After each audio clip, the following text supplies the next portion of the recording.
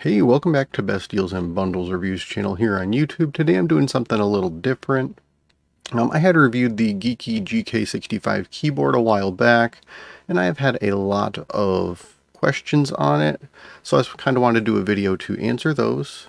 One question is, what brand are the actual keys? And I do not know.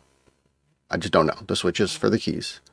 Um, they don't say a brand on them but the keyboard is compatible with three or five pin switches, so whatever you want to use to replace them, you can. Um, the other questions I've had is, is it a USB-C cable? And yes, it is. They do include one. It is relatively short. I got myself a nice long one.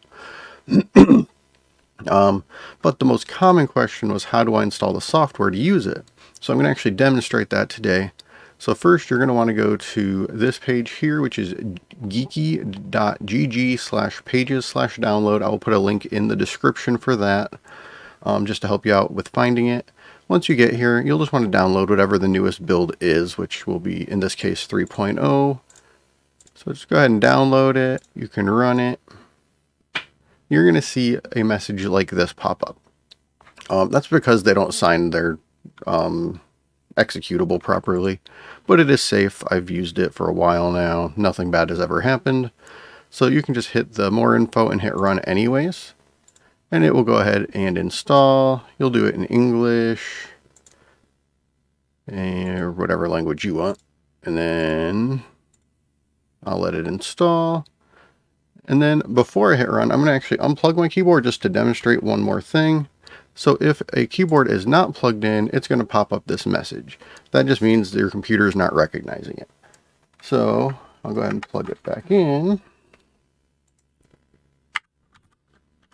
And I will run the utility again. And now it'll actually be open. It'll just be down here in the bottom, which you can't see. Let me move this.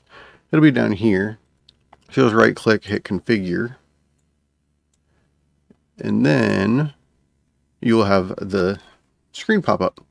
So once you're in here, you'll be able to make multiple profiles so you can switch through them easily, but mostly I just use the lighting.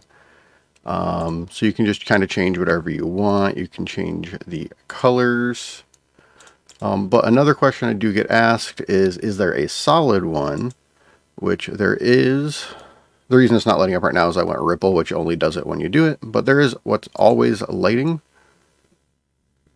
and you can choose the color so I can have it just be whatever color I want out of these options. There are not a whole lot of options but there are a few so if you just want solid lights you can do that.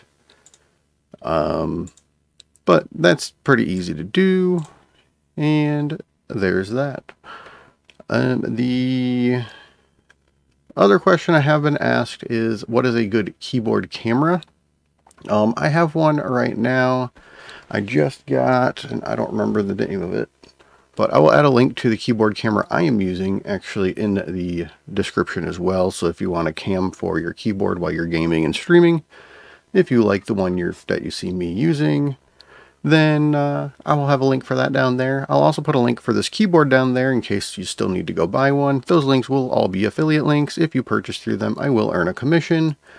Um, but that is all I have for today. If you have more questions, feel free to ask them on here or in the original video, which you can find on my channel by searching for Geeky. Um, but that is all. If you have more questions, ask them. If you like this video, hit the like button. If it helped you especially, make sure you hit that like button and subscribe to this channel because I am always trying to help you guys out.